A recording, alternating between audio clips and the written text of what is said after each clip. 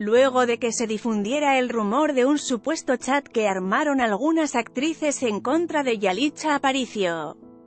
Para que no fuera considerada en los premios Ariel 2019, histrionas que fueron vinculadas a este boicot, como Regina Orozco y Dolores Heredia rechazaron formar parte de algo en lo que ellas nunca harían, ya que son defensoras de la inclusión y de las mujeres. Hasta el momento no hay indicios de que exista una conversación entre actrices sobre no apoyar a la oaxaqueña nominada como mejor actriz en los Oscar, en la gala a lo mejor del cine nacional.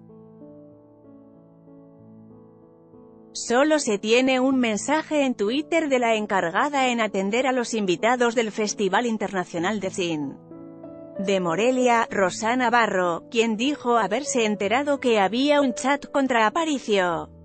Por consiguiente, la mega bizcocho, en un video en su cuenta de Twitter, lamentó que la incluyeran como una de las supuestas organizadoras de dicho movimiento.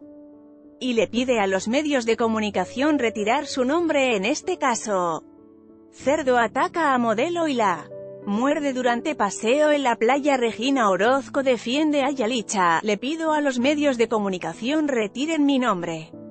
De un noticia que está circulando donde supuestamente varias actrices en un chat piden a la Academia de Arte Cinematográfica que la actriz Yalicha Aparicio no tenga la nominación como mejor actriz en los Arieles. Para mí la actuación de Yalicha me sacó las lágrimas en la película, Roma. Ella aunque no tenga estudios de actuación, como muchas, es una actriz. Nata, además el hecho que tenga tantas portadas de revistas, tantas entrevistas por todo el mundo y que sea tan visible para todo el mundo, que una mujer mexicana, en primer lugar mujer, mexicana y de orígenes indígenas la vean por todo el mundo que tenga tanto éxito para mí es algo increíble.